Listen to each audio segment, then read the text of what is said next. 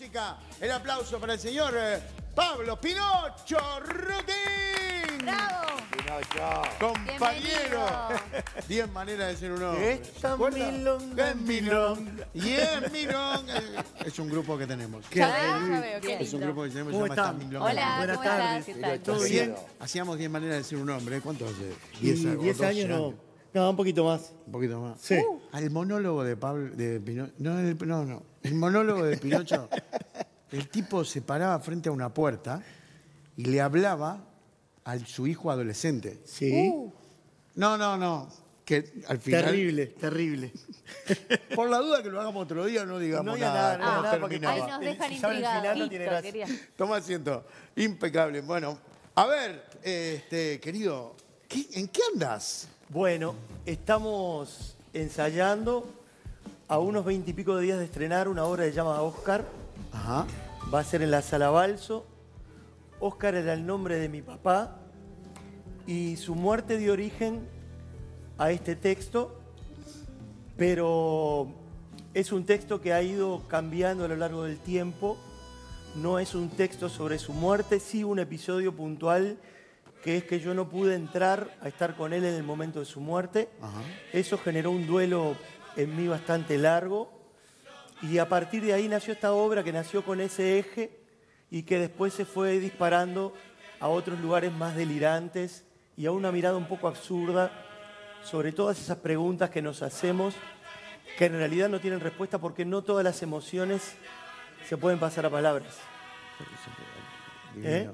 Qué divino. No, no, pero a verte lo que debe ser para vos plasmar arriba de un escenario todos estos sentimientos, todas estas cosas que pasaron a raíz de la muerte de tu padre. Sí, sí, la imposibilidad de entrar Eso te, te fue. a lo largo del tiempo empezó a hacerme un daño tremendo y a querer saber un poco más sobre su situación puntual en ese momento. en ese momento. Y pe- pero no- tú ¿por qué no, no No muy pude entrar, estábamos o- en la frontera con la pandemia, ya estaba la pandemia en algunos otros lugares. Ah, pero fue hace cuatro años. Sí, cuatro años, cinco años.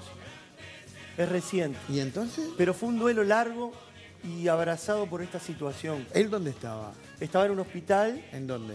eh, creo que era el Casmo, que era del Casmo. Sí. No pude entrar en el momento, tampoco batallé mucho. Ajá.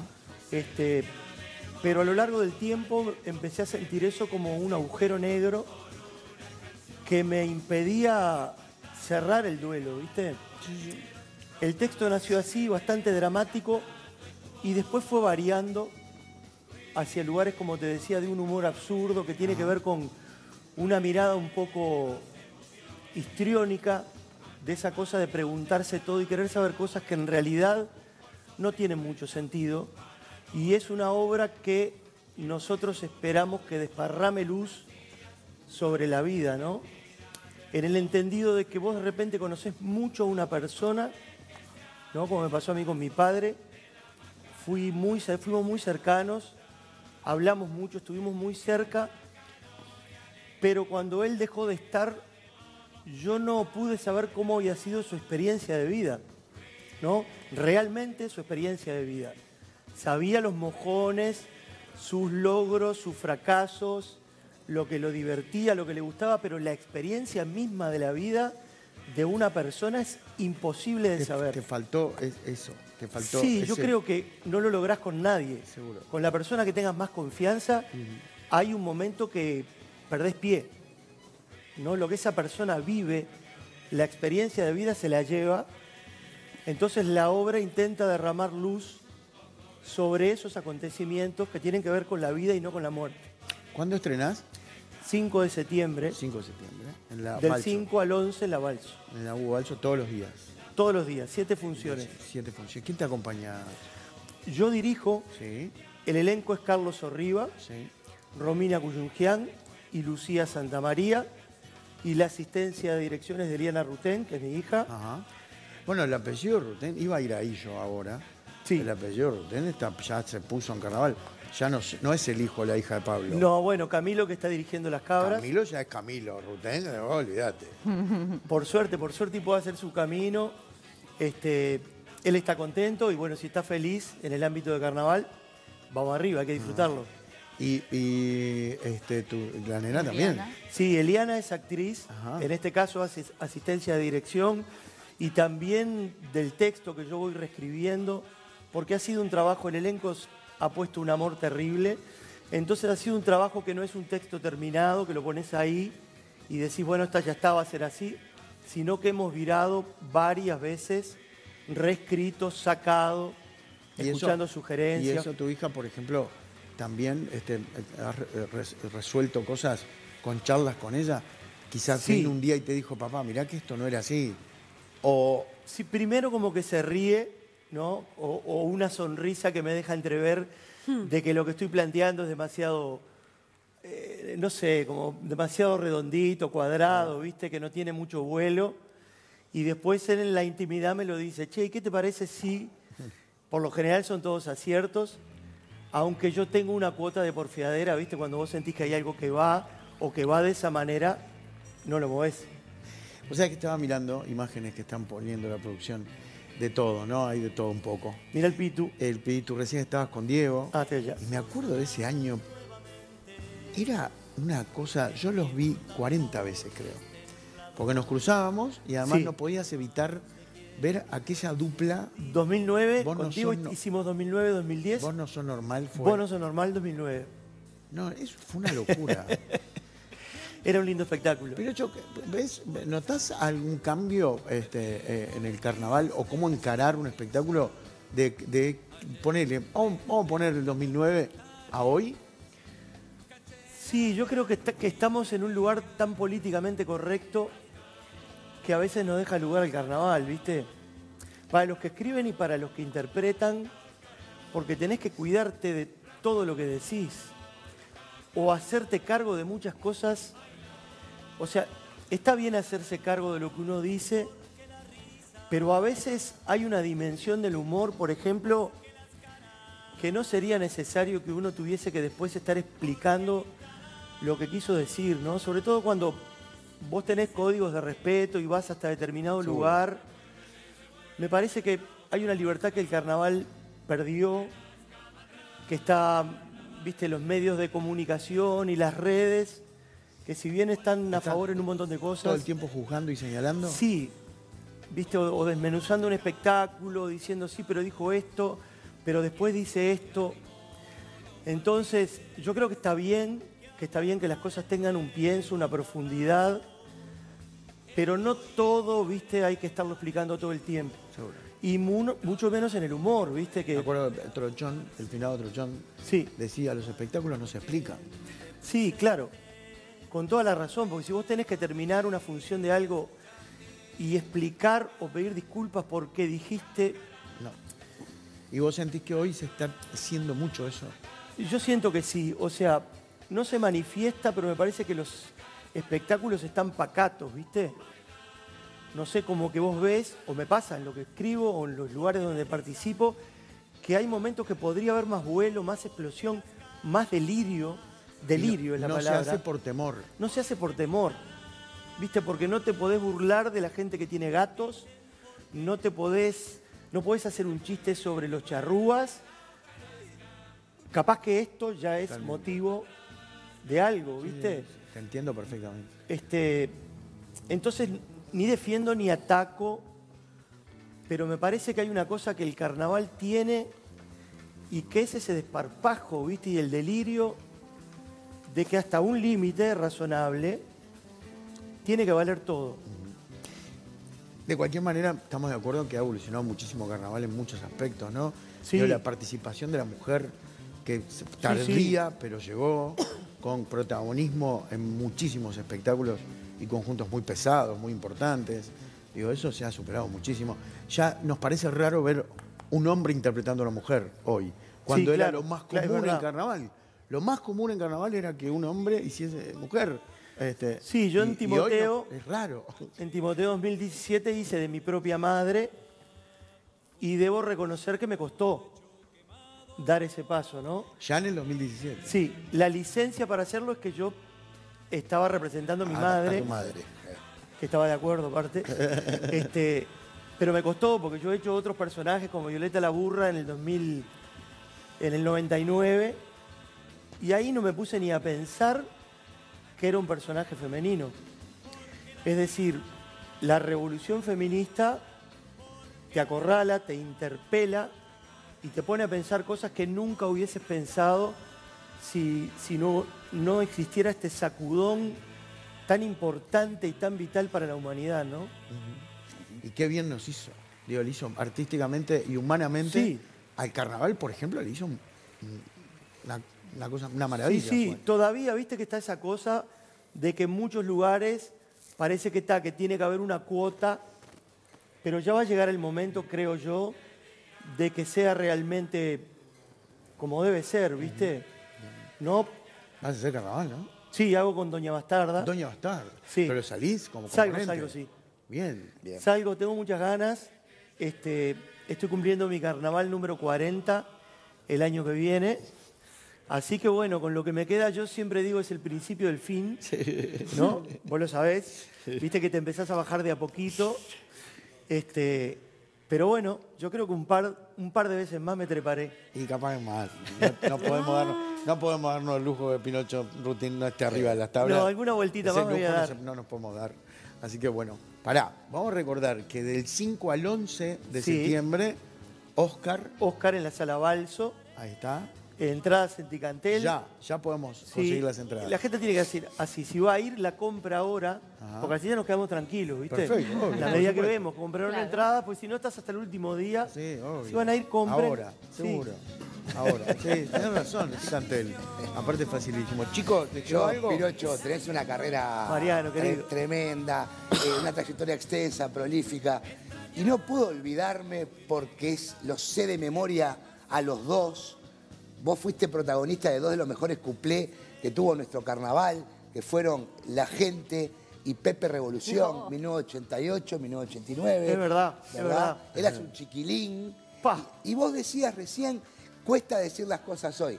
Ahora, en ese momento se dijo todo lo que había que decir de frente y mano y a pecho descubierto con la dictadura hacía tres o cuatro años, cinco o seis años nada más.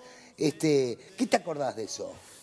Bueno, me acuerdo que no había la grieta política que hay ahora, porque había un enemigo común y los enemigos en común unen. Este, entonces también el discurso político era duro, pero de alguna manera era más fácil que ahora. Aplaudido por todos. Claro, porque ahora el discurso político pesa un poco también, ¿no? Y en eso sí yo soy cuidadoso de poder aguantar abajo lo que digo arriba, ¿viste? Bien.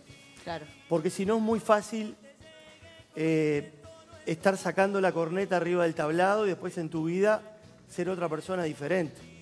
Pero como en aquel momento era la salida de la dictadura y el monstruo ese estaba tan cerca y tan vivo, este, lo que decíamos que tenía carácter político era un poco más fácil de decir, por decirlo de alguna manera, ¿no? Claro. Este, yo era más vehemente también porque era más joven. Hoy pensaría 20 veces ante un discurso político de ese tamaño, qué digo, qué no digo, con qué estoy de acuerdo, con qué no estoy de Vos acuerdo. cantabas los que cantan con la zurda y cobran con y la cobran derecha. con la derecha. Bueno, viste, ahí cada uno tiene que hacer un análisis de su vida, decir, bueno, yo canto con la zurda, pero cobro con la derecha en algún ámbito. Claro. Este, no es fácil, ¿viste? Se decía todo en ese momento. Claro, el, el Uruguay es muy chiquito y todo el mundo sabe cómo caminás. Entonces, cuando vos ves un artista que une su vida al escenario y encuentra una coherencia, yo me saco el sombrero. Ya que estamos con preguntas reflexivas y te estás prestando, aparte me parece que es totalmente adecuado preguntártelo a vos porque sos licenciado en fonoaudiología e, e incluso sacaste un libro sobre cómo cantar. Sí. Así que la pregunta del millón, ¿el murguista canta o grita? ¿O eso ha evolucionado? ¡Qué atrevimiento! No, está muy bien, está muy bien. Mirá, yo no soy experto en coros Ajá. ni nada que se le parezca. Yo creo que siem- siempre hice un paralelismo entre el canto de la murga y el flamenco. Ajá, interesante. porque me parece que tienen una raíz, o, o sea, tienen raíces donde hay cosas que son similares. El carnaval y el canto de la murga tiene mucho dolor, aunque la murga debe dar alegría, hay una raíz de dolor porque viene de las clases bajas, hay mucho dolor. Sale de adentro. Sí, viene de, de lugares de mucha pobreza. No miremos la murga de ahora, que hay un montón de gente universitaria, eh, viste, como que hay niveles eh, diferentes a lo que era la extracción de la murga de antes. ¿no? Ser murguista del año 50 había que remarla y ahora capaz que ser murguista te coloca en el patio de una escuela a dirigir un coro de niños y de niñas, ¿no? sí. Ha cambiado mucho, pero tiene esa similitud del grito del flamenco, tiene voces que suenan como suenan si están en el límite del registro, por eso Sí. tienen esa cosa gritada, apretada, que le dan el sabor. Siempre pienso, pensé que el Canario Luna es el máximo cantor de la historia de la murga.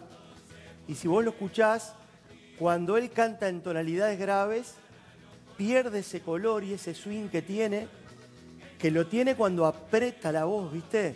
Sí. Cuando canta en el límite, tiene un color que es inigualable Inolvidable. inolvidable. Y si te pones a ver, la gente que canta ahora de tercias, tienen también, a partir de un lugar del registro, un color que, que le da esa identidad a la murga, que a mí por lo menos me encanta. Pero también hay gente que tiene mucha técnica vocal y que ha estudiado mucho canto, en el carnaval todo, y otros que son autodidactas. Yo creo que hay un límite entre el grito y el canto, pero es un poco la salsa. Juega en el borde. Sí, Pinocho, yo quiero volver un segundo a, la obra, a Oscar, por esto que contabas al principio, que también viene tan de adentro, como decía Cintia. Es inevitable preguntarte cómo estás ahora, hoy, a punto de estrenar esta obra, que entiendo que, que quizás es eh, un poco el cierre del duelo de tu papá. sí. Bueno, estoy súper bien. Puedo hablar de mi padre sin llorar, cosa que no, no pude durante dos años. Obvio. Este, inclusive hablando con gente de la familia me dicen, pa, pero qué duelo largo. Este, no lo sé. A mí me llevó un tiempo, ¿eh? Eh, me maravilla sentir que mi padre sigue dando alimento a mi vida, porque esta obra no iba a llevar su nombre. Eso fue como una decisión de mi hija. Yo no quería llamarla como mi padre. Lleva su nombre y tiene como punto de partida su muerte. O sea que él sigue de alguna manera permaneciendo a través del arte. Mi viejo pintaba óleos, pintaba cuadros, era un artista. Entonces me siento regocijado, pero en relación a tu pregunta siento que estoy cerrando finalmente una etapa que el día que arranque el estreno y venga el aplauso final, Qué hay un lugar Qué que lindo. dejo para retomar otro. Claro. Y me gusta porque la obra, que esto es importante, la obra tiene humor, tiene un humor absurdo del protagonista que se llama Oscar como el padre, pero le dicen Osquitar, que en el momento que le informan en el sanatorio que vio eh, que su padre murió, él al tiempo recuerda haber visto pasar una enfermera pelirroja y entonces empieza a asociar que esa era la enfermera que estuvo con su padre cuando murió.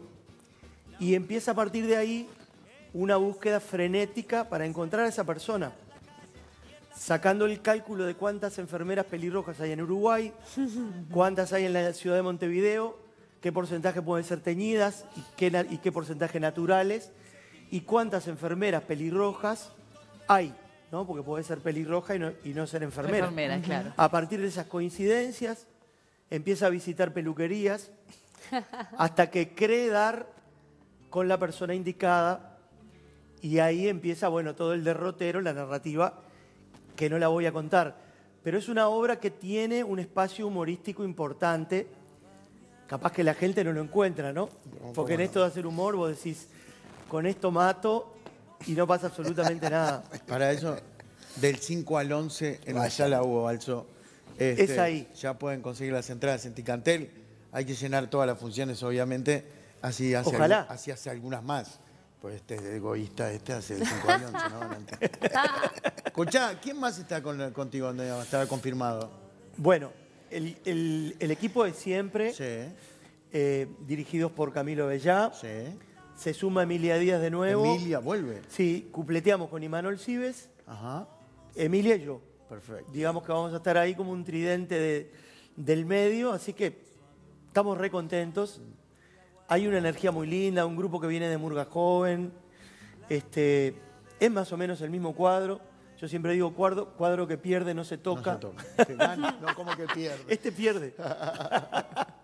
Bueno, Pinocho, gracias, querido. Gracias, Luis, gracias. Gracias. Gracias. Crack. El aplauso fuerte para Pinocho Rutén. Señores, un capo, ¿eh? Un crack. De verdad, hay que volver a hacer 10 maneras de ser un hombre. Cuando quieras. vamos- eh, los viajes al interior estaban lindos. Ah, Divino, divino. Eso estaba lindo. Y Bueno, los camarines ni te digo. ¿Cómo? Hay una anécdota maravillosa de 10 maneras, la hago cortita, porque ¿qué pasa? 10 maneras de ser un hombre, éramos 10 tipos que tenían su momento.